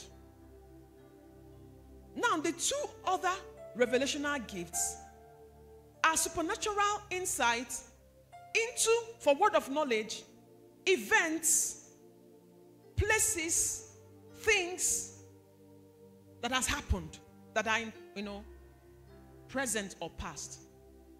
Word of knowledge, events, things, people, places that are yet to come. Plans and purposes of God. But for discerning of spirit, discerning of spirit is specific for the spirit world. The spirit world. Okay? So it's a supernatural insight to the spirit world, seeing or hearing in the realm of spirits. Now, I did not say supernatural insight into demon world. Did I say demon? You know, anytime we say discerning of spirit, what usually comes to your mind? Hmm? Evil spirits. Uh-huh. But that's not what the Bible says. so discerning of spirit just into the spirit world. Is the Holy Spirit a spirit? The Holy Spirit is a spirit, right? Our angel spirit, our demon spirit. So understand it now. Okay? So it reveals the kind of spirit in oppression. It reveals the kind of spirit in oppression. So when there is a supernatural manifestation, for example, what the discerning of spirit does is to reveal the particular spirit that is in operation, whether it's the spirit of God or remember the Bible tells told us to test all spirits. You know, when the Bible said test all spirits, some people read it as test every devil, test every demon spirit. Bible said test all spirits. Even the spiritual, even this, any spirit that is in operation, Bible said test. So that you can confirm that this is of God. It is not every miracle that is of God. It is not every, in quotes, seemingly or seeming word of knowledge. I'm using the word seeming because it's not word of knowledge that is of God. Do we remember the story of Paul that went somewhere to minister and the lady was following them? Everything the lady was saying, was it true or not? Was it true? It was true, right? Everything the lady was saying was true. And you know, that thing was enough to do what? To authenticate them. But that was, a, that was a familiar spirit in operation. That was a demonic spirit in operation.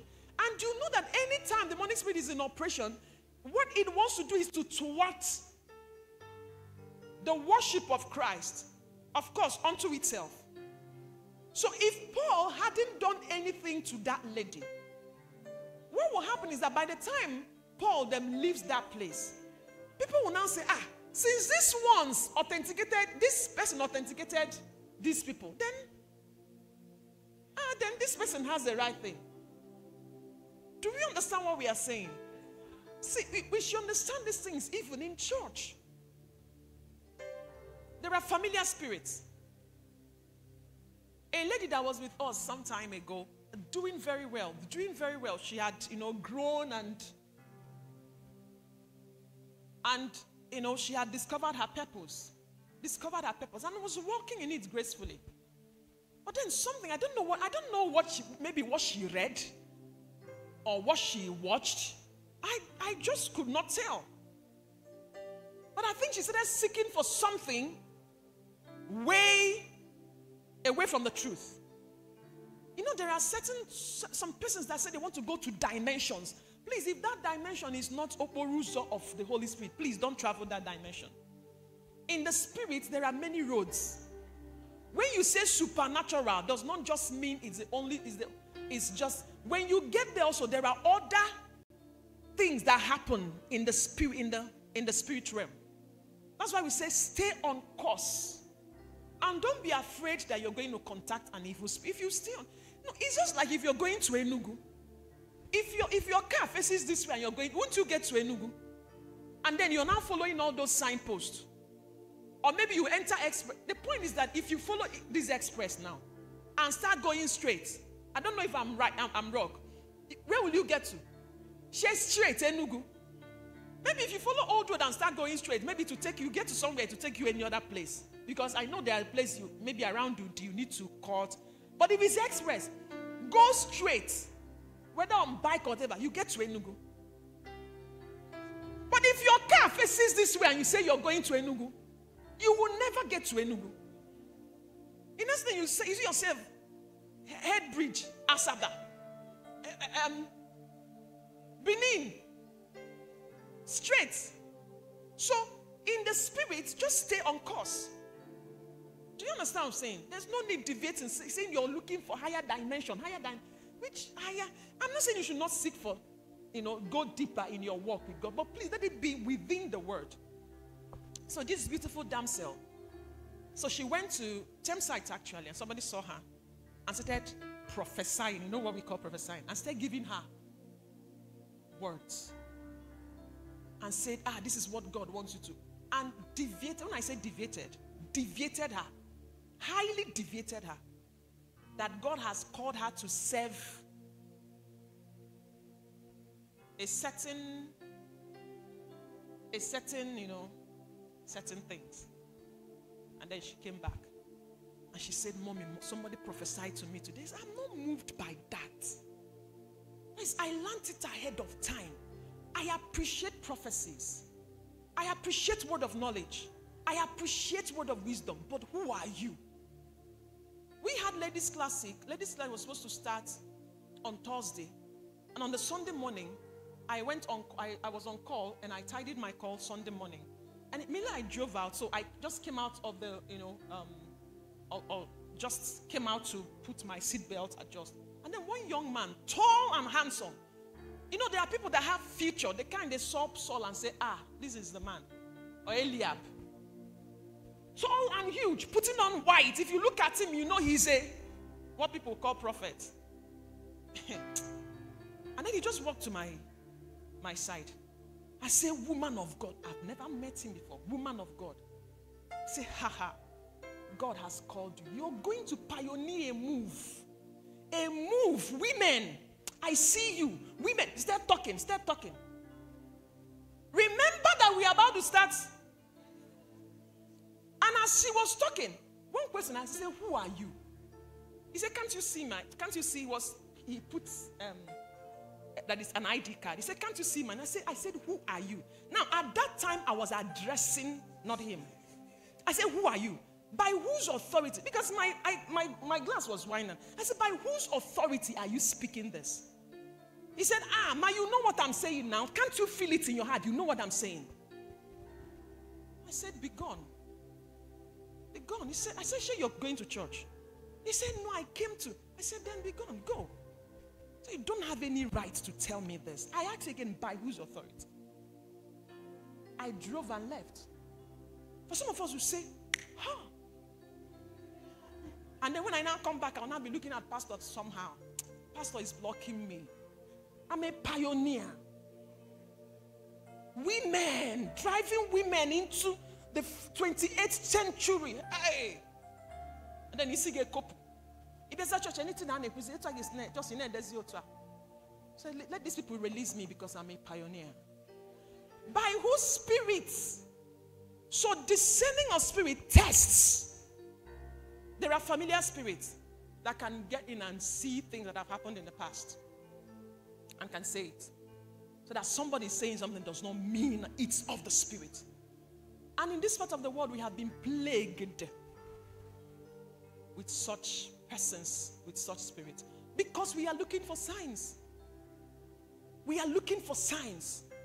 And that's why we follow them. Listen, any anybody that you see that is operating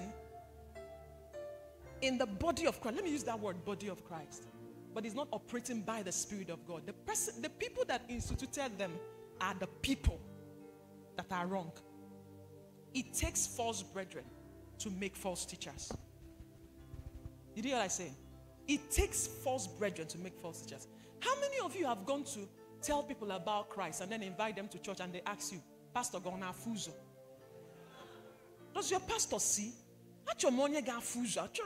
I want somebody that I want somebody that will prophesy to me. And that's why some persons Sunday to Sunday, once they come to church, they just sit down like this, they're sleeping. I say, okay, Rugo. Hey, okay, Jebu amume Rugo. Onye teta. Ateta. Akani The person, all the things that we are being said, the person is not hearing, just waiting for prophecy time. So 30 minutes teaching, five hours prophecy. Those are those online. I'm using in quotes this thing. But we are the ones that wanted it. Do you understand what I'm saying? So the ones like okay, look at look at the teaching we are giving now. Look at the teaching we are giving now. The ones now remember that when Jesus performed the miracle, how many people? 5,000. He fed 5,000. Performed that powerful miracle. When he now started teaching them, those people that ate bread and fish oh, got up. Teacher, I can now say, This is not why we came. You're teaching us we eat your flesh and your blood. No, no, this is not. This, this is a hard saying. Once teaching begins to come, but the reason that these gifts are the beautiful things that these gifts bring people, unbelievers, they are signs to them, bring them to church. Then we teach them the truth of God's word. So let's, so let's stop seeking these things because many times we contact spirits. That was how this sister I'm telling you about or got into something. She started getting into, oh, you know what I'm talking about? She started getting into um, many experiences. She would just be in the hostel like this, and then the next thing she would be saying things, seeing, seeing things. I don't even know if the man laid hands because these things are transferable. She will not be the next thing we saw. We, she left here. She left. With all my persuasion, she left. Fatherhood ended. Fatherhood, we finished spiritual fatherhood. I wasn't spiritual father anymore. Everything ended. Mind. Mind what you hear. Who speaks to you prophesies to you. And I need to say here, here that the new creation, God did not design the new creation to be led by prophecies, but by the inward, inward witness. As many as are led by the Spirit of God. Anybody that is born again can be and should be led by the Spirit of God. With my walk with God, my few years of walk with God, I've actually noticed that anything I am going to get as a, as a word of knowledge to me, I have already heard it. In my spirit, I'd already known it. Now the word is now coming as a confirmation. God does not design that you believe. You're looking for a husband, and then you're looking for that person that will tell you, Sister, this is your husband. People like signs. Even as all of us are looking. Even me, me, I like sign. Don't you like sign? Signs and wonders. Miracles. But the thing is, we are not supposed to be led by them. We are supposed to be led by the Spirit of God. If not, we'll go off, contact a spirit that is not of God, and then we run with it. A lot of people have gone off because of prophecy you know, this thing that is called prophecy given to them. Word of wisdom in quotes given to them. And it now stirs up. You don't profit in it. It now stirs up pride, stirs up arrogance. For some, some of us, it now stirs up depression. Stirs up things. We had a case like this some time ago. A young man, quite gifted, heavily gifted. I'm not going to deny that he wasn't. Heavily gifted. But you know, once pride comes in and some of that, it can corrupt a lot of things. They'll come for intercessory prayer. People are being anointed. Have you ever seen your pastor anoint people oil? People are anointing people oil. You go to somebody's house to eat. He's carrying olive oil in his bag. He finish eating, he'll prophesy to you and anoint, and you sow seed into his life. It happened here. Just like God delivered some of us here that are looking at me. You know God delivered you. If not,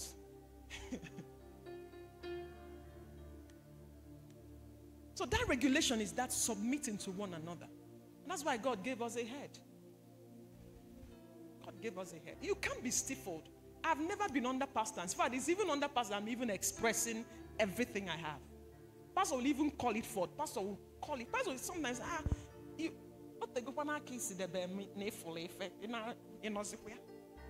that's pastor usually asks me.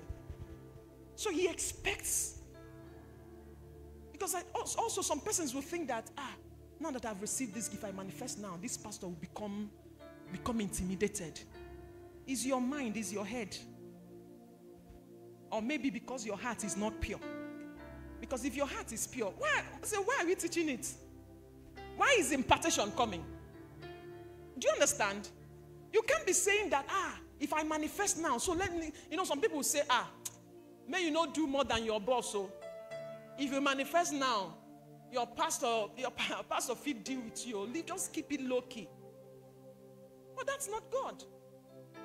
The point is that there are certain things that are resident in pastor that he's not manifesting. The people that will manifest is us. And if we are manifesting it, not because it's not, it flowed from his grace. You need to know. It flowed from his grace. It flowed from his grace. If you understand it.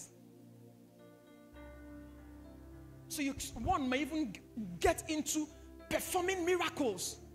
And I may get into healings. And I may someone say, ah, have you seen your pastor raise and you want to raise the dead? That man go, ah, he go vex for you. Oh. No, that's not how it flows. How many giants did David kill? People are not answering me. How many did his followers kill? Plenty now. If you read the book of um, First Corinthians, about I think five or six thereabout. And the Bible said that it was David that killed them. It was David that killed those giants. Because his men killed those giants. Because this thing flowed.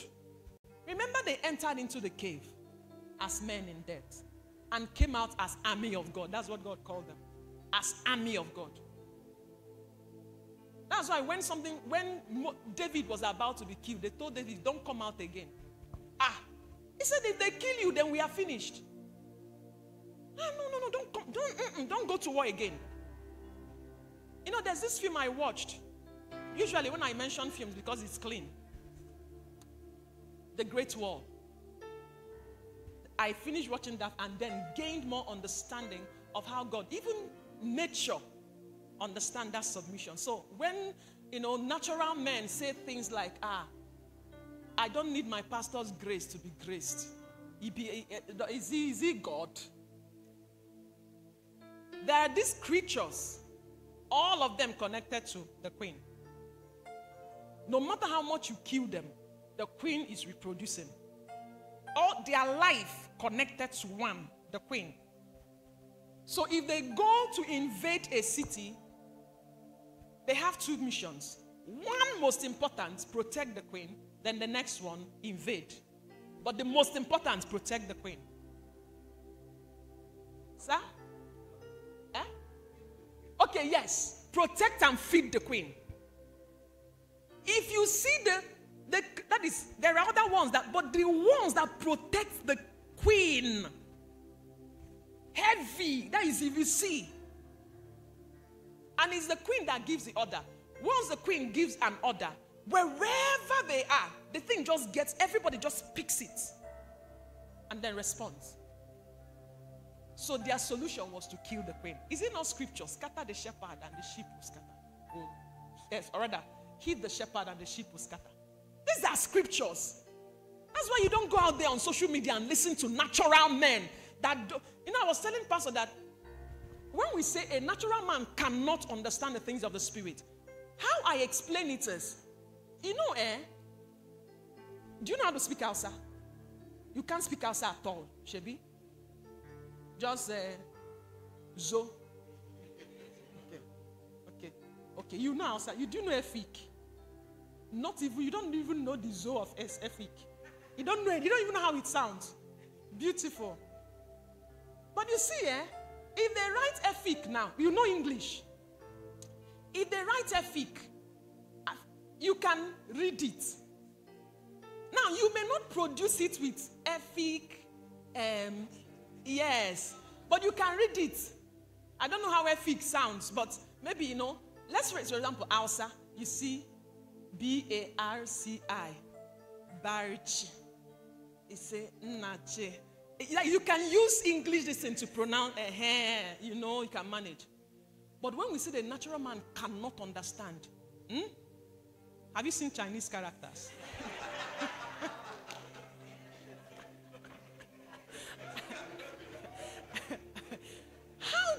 pronounce.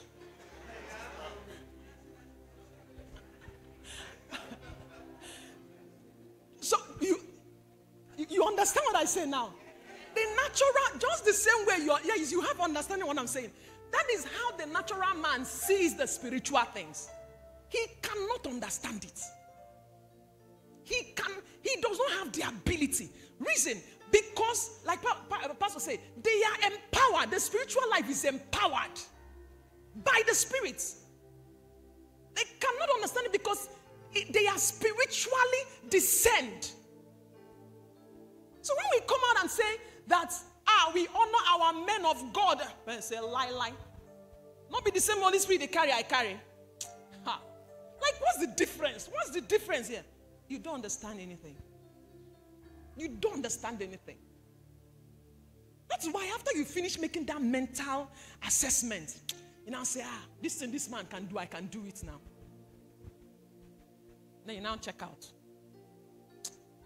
Hi, you know what we call suffer head? You go suffer. It's not a cause, I'm just telling you what is.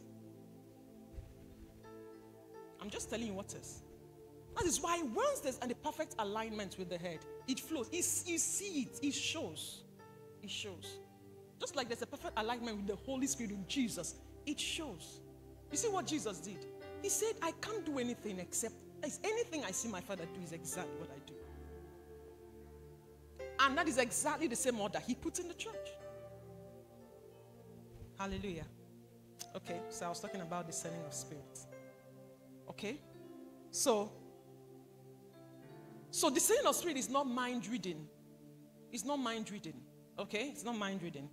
Then it is not psychological insight. Say, ah, something is not right here. That's not. Then it's not mental penetration. It's not, you know, to look into somebody's eyes and then now say, ah, this, this is no, that's not what it is. And then it is not also the power to discern faults of others. Discerning of spirit is not discerning the faults of others. Then it is not discerning of devils. It is not discerning of devils. You say spirits, we devils are also part of. It could also be discerning the Holy Spirit, just any spirit. And then spirits in oppression. Just like I was explained. So there are certain times there's going to there there'll be manifestation, certain manifestation, but it's not of the spirit. That's why when you walk in tandem with the Holy Spirit, you will always perceive, you will always know. Then sometimes with this gift, with this gift, you will be able to say this is the specific spirit in operation. It can be manifested in healing, like Kenneth Hagin had, you know, had experiences where someone, a demon, is hanging on somebody's lungs. Demon hanging on somebody's, or so that is certain specific spirits of infirmities. You will see that spirit or perceive that the spirit is involved. Now, it's not all sickness that has involvement of the spirit. But if there is, with the discerning of spirit, you'll be able to know. You can walk into a room and say, Something is not right here. Something is not right here. I sense the presence of an evil spirit. And then, with the discerning of spirit, you'll be able to know what that spirit is. Specifically. Do you understand? Do you like this gift? You are not sure. Yeah, but, but it's, it's, it's very good. I had an encounter with someone, a relative. This person has over eight, nine years. He has just been a stress to his family. And his family has actually decided to, that particular day, something happened that particular day. So they decided to take him up and lock him. There was a claim that he beat his wife. I said claim because there was no particular evidence. So there was a claim that he beat his wife. So they decided, his family decided to lock him up. So I was, um, well, I say privileged or opportuned to go see the couple. Because I was also of the opinion, let him be locked up. But out of concern for some other things surrounding it, I decided to go. So all the while, the problem had been the man. That's what everybody has seen. The man has been the problem. That's it. But what happened that day? I walked into that place that day. Some things came up, and then the man now came out and charged at the wife again. Immediately he started talking. I saw, that is evidently saw, the manifestation of spirits. So this was not just common being stubborn or common being heady. For more than nine, ten years, and I started addressing that spirit. I said, In the name of Jesus, he held, there was a rod he held. I said, In the name of Jesus, I command you to release this rod. He said, Are you commanding me? I said, Yes, I'm commanding you. Now, this person is far older than me, but I was addressing that spirit. I said, I command you. He said, You can't command. I said, I'm going to tell you what to do and you will do it. Now, leave this rod, get into your room and sit down there. He left the rod, got into his room, and sat down. Oji was there, I was with her. And then I settled the wife and then came inside. I sat down. I said, Tell me what happened. This is somebody that I've not talked with for more than eight years, a relative. And then he said, You know I'm not supposed to talk to you. I said, I know, but today you talk to me. For more than 40 minutes, he was telling me what was happening to him. That was the first time ever he opened his mouth to speak. After that day, this was happening 2016. After that day, that demon was dealt with. From 2016 up until now, that young man is the favorite of the family. You can trust him with anything. Because there was a discerning of an involvement of a spirit. Because if you think, ah, this person is just stubborn, but that I, it was it was that is it was obvious as I was seeing that spirit and then commanded it to go. So this spirit releases, you know, shows. Then sometimes also, there's also the manifestation of the spirit of God. Some persons may not even know that the spirit of you not tell them, I sense the Holy Spirit in this place. I've been in a place where people gathered and then they were just there. They, they don't know what is happening to them, but they, they were just there. They were just, I said, I said, does it mean that you don't know that the Holy Spirit is in this place? And just that room alone, the power of God hit everyone. Like we just had mini cell fellowship there, like never before. So pe- the Holy Spirit can be in manifestation. People may not even know. And then that experience can be wasted. Do you understand what I'm saying? That's why sometimes also the minister will come up and then announce the Holy Spirit is moving. I can see angels here. He's not saying it so that you'll be hyped. No, he's seeing it. He's seeing them. I can see angels. Sometimes they are specific. I can see two angels. I can see two angels there. I can see angels walking from seat to seat, giving people gifts. Hallelujah. So these things are beautiful. Okay, let's move to the power gifts. I'll be I'll be quick. I'll be quick in this one.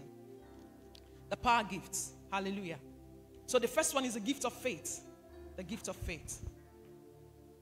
The gift of faith is the gift of the Spirit to believe in order that one might receive miracles.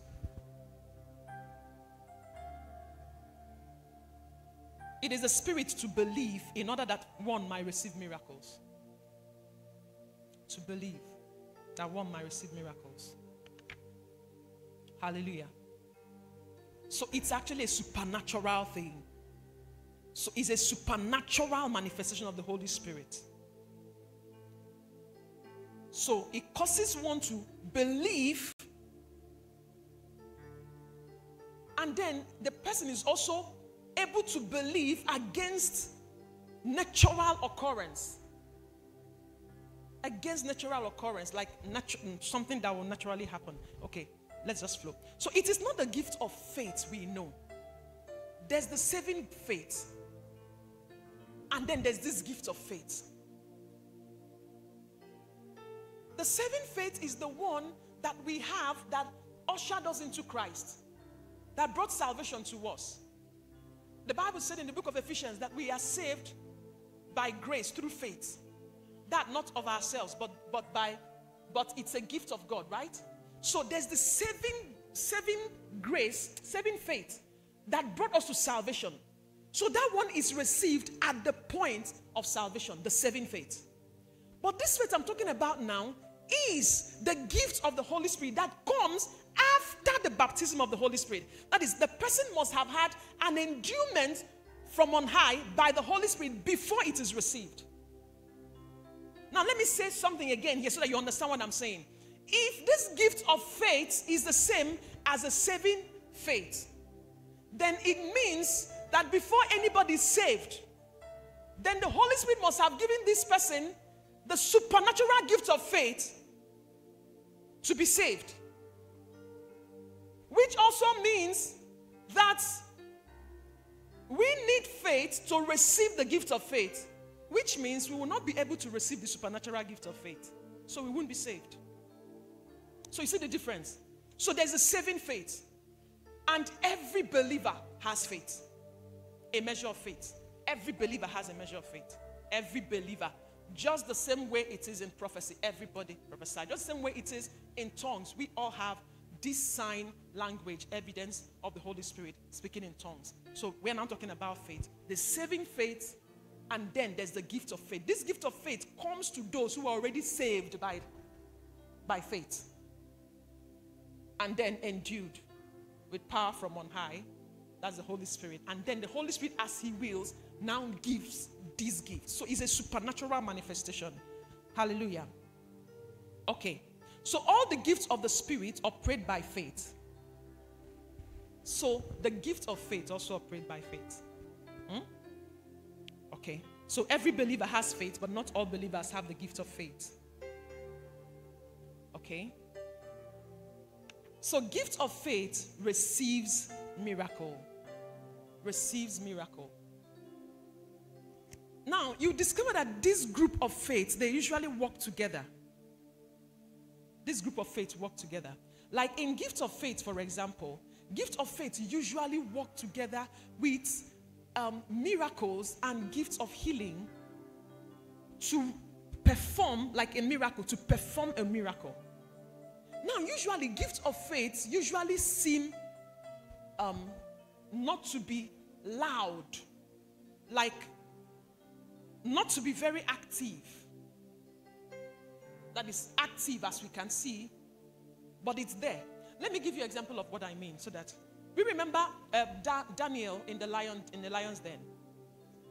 Remember that then. Now that's a gift of faith in operation. And it's that gift of faith in operation that made him to receive his miracle of being delivered from the lion's den. Now, when he got there, he wasn't walking anything. He wasn't commanding those lions to to shut their mouth. He had that gift of faith. He believed God, trusted God that this, he's going to be saved. And then he, he was saved.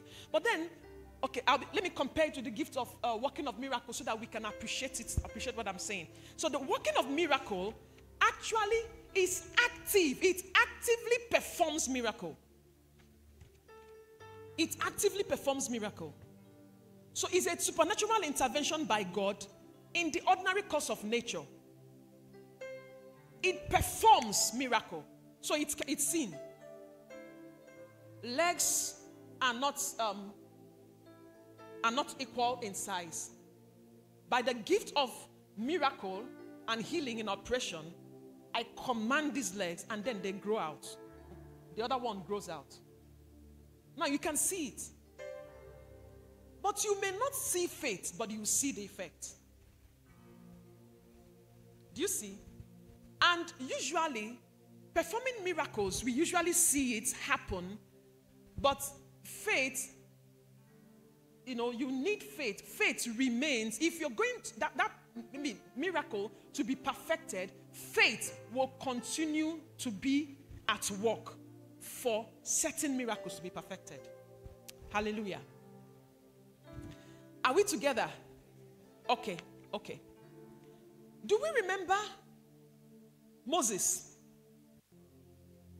I'm trying to look for a perfect example. We remember Moses that divided the Red Sea. That's miracle. He divided the Red Sea, right? How long was the Red Sea divided? Hmm? Do you know? Can you guess? There were about 3 million of them. Now, as long as there was need for these people to pass, so miracle was performed, but the gift of faith sustained that pattern of the Red Sea. Do we see that? It sustained that pattern of the Red Sea. I'm trying to find, you know, the right example to give you. Hallelujah. Sir? Peter and John. Okay, the man at the beautiful gates. Yes. Okay, okay, okay. Please, can we get mic for Pastor? Please, quickly, quickly, quickly. Can we get mic for him?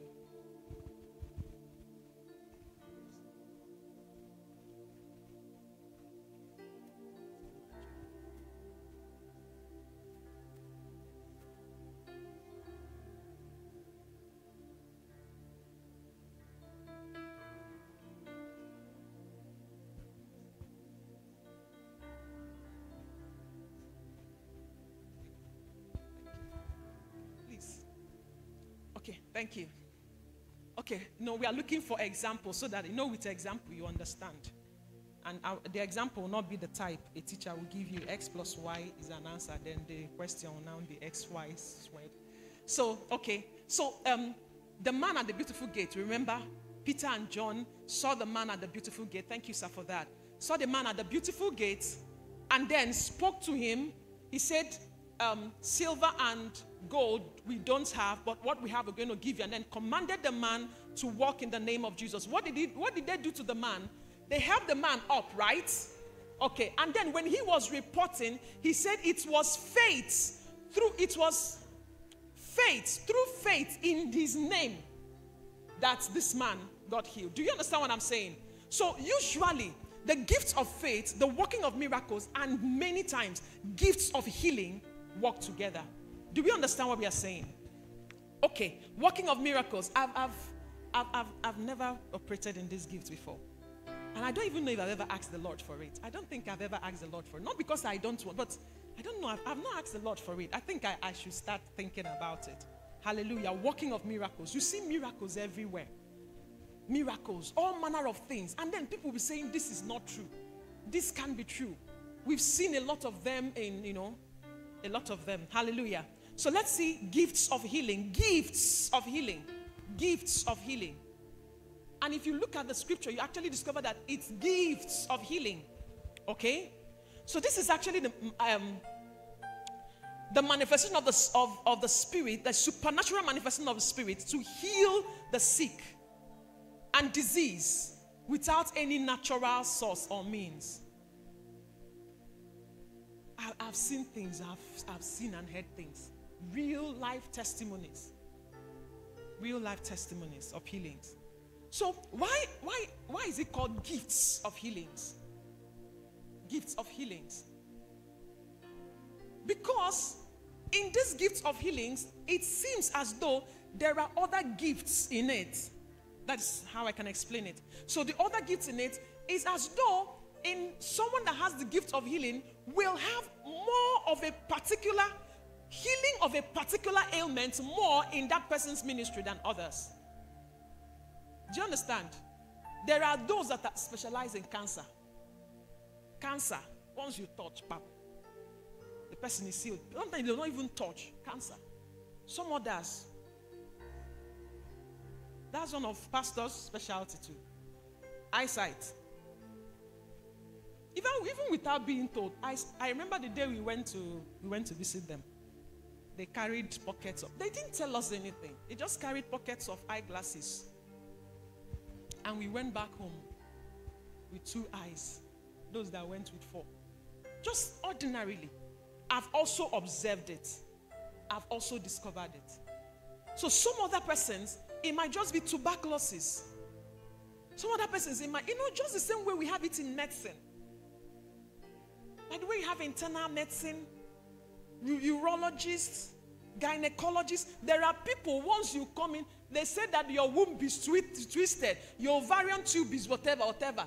You can't leave that place without getting healed. Do you understand? So that's gifts of healing. And in this power gift, all of them have the gift of faith in operation. The gift of faith in operation.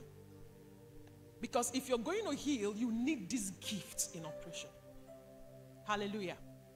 Okay, so let's look at the three of them again, the three groups of, uh, of this gifts again. The first one, we call them the utterance gifts, and they are tongues, diverse kinds of tongues, interpretation of tongues, and prophecy.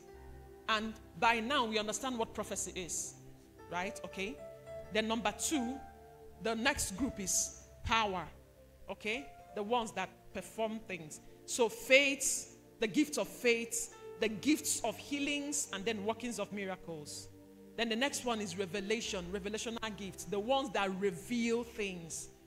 And they are word of wisdom, word of knowledge, and discerning of spirit.